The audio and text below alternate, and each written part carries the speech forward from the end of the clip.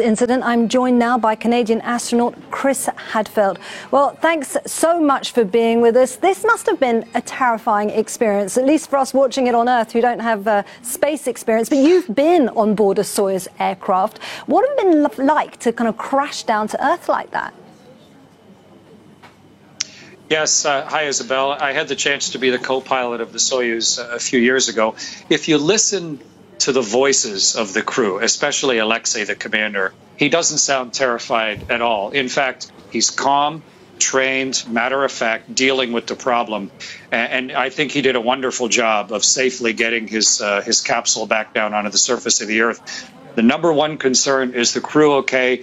Number two, how about the crew up on the space station? And now, of course, try and figure out what went wrong with the rocket. But what does it feel like crashing down to Earth like that? What would, what would your body go through?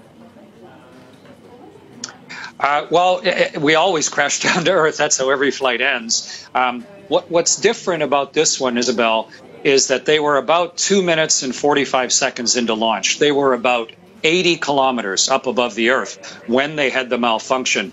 Their, their capsule was separated from the rocket and then they tumble and fall. They manually selected a, a, ballistic mode, and then they start plummeting into the atmosphere.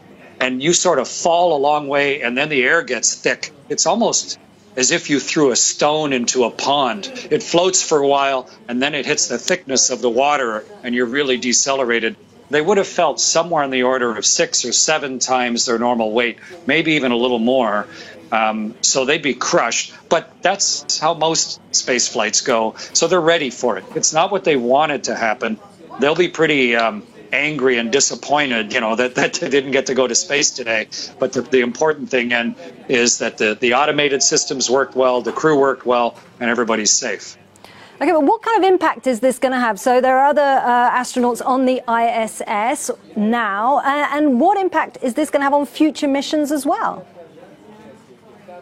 it's going to have a really significant impact, Isabel.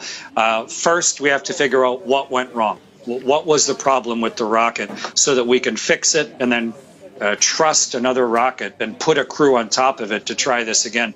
That might be simple if we find out exactly what the problem was, and there'll be a commission doing that, but it could take a while. If you look after the Columbia accident in 2003 or Challenger in 1986, those took over two years to launch another space shuttle. This should go faster than that, but it still could be quite a while before um, before we get the next crew to go. So the three people up on the space station, they're essentially marooned right now, with no way for another crew to come up until we solve all these problems. Of course, the worrying situation there. Well, Chris Hadfield, fantastic to have your insight there, and we hope to have you back on the program soon.